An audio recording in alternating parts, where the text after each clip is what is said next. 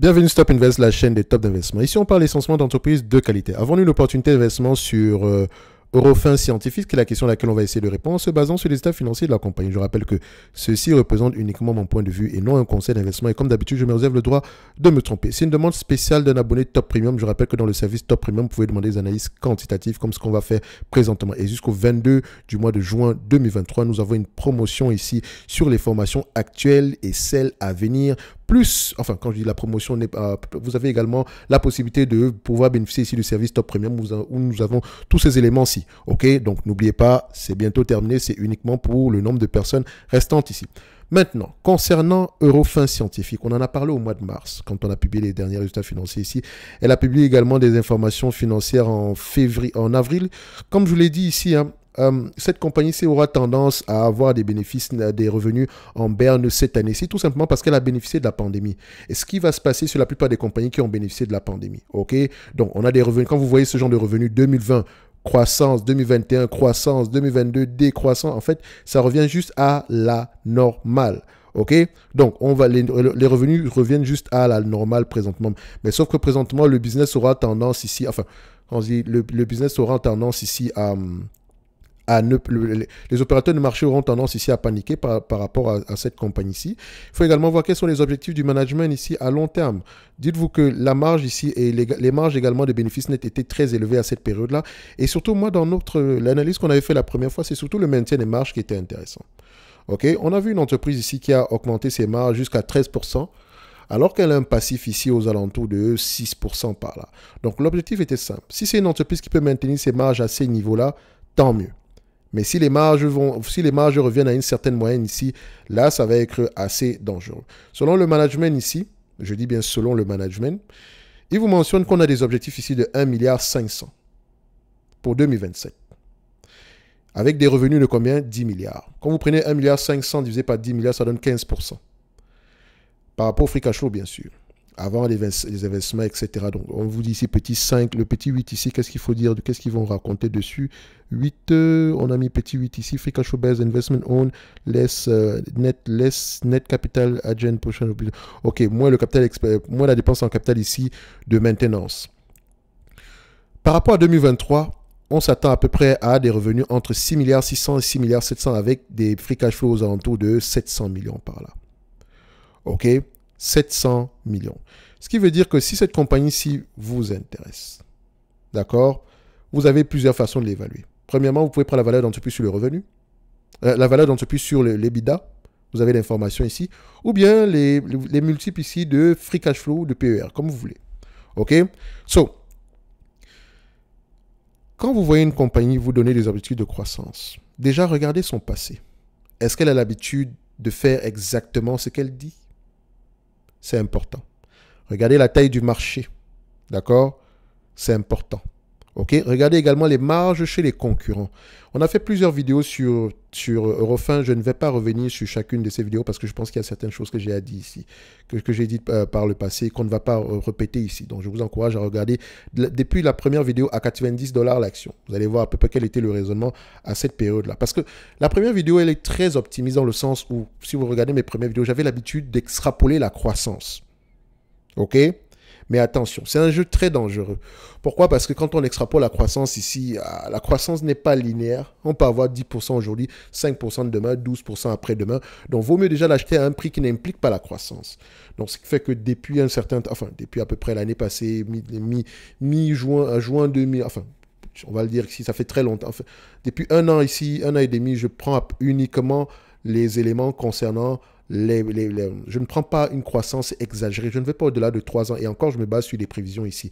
Et l'essentiel pour moi est d'acheter une compagnie de croissance à un prix qui n'implique pas la croissance.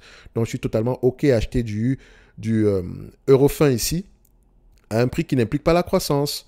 OK?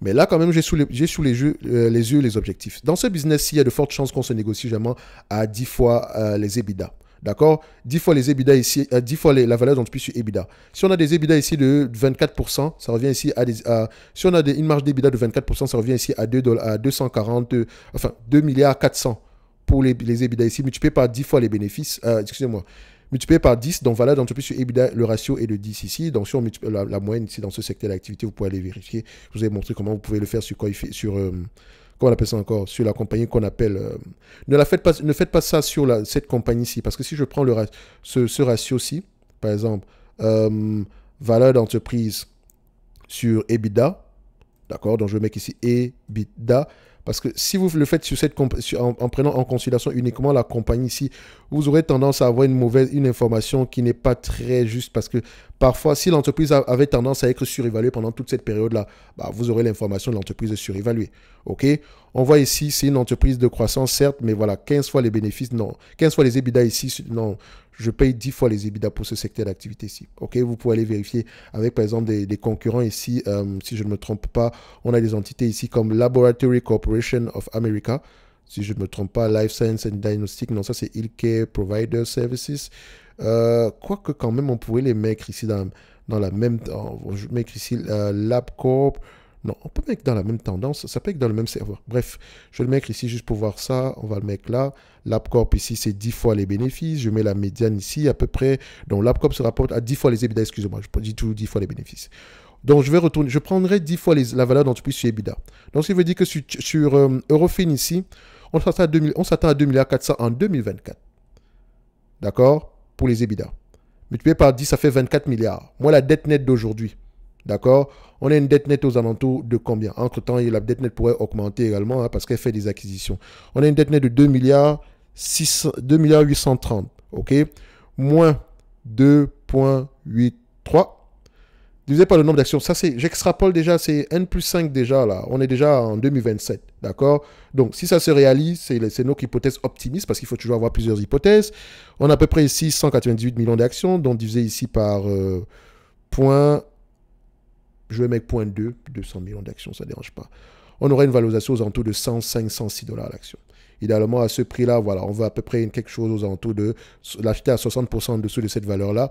Donc, on ira la chercher aux alentours ici. enfin, Excusez-moi.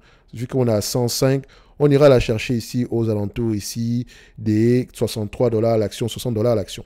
OK? Donc, vous voyez que ça, ça va être 10 fois les bénéfices, les EBITDA. Parce que si je, les- si je, si je, si j'essaye à peu près de faire la même chose avec le free cash flow, on a mis 1,5 milliard en 2027, n'est-ce pas? D'accord? Donc, c'est notre hypothèse optimiste. C'est un business qui s'échange généralement à 20 fois les bénéfices en période stationnaire, même si le, le- marché peut avoir tendance à payer 25 fois parce que ça reste une compagnie de croissance. Croissance par acquisition et de manière organique.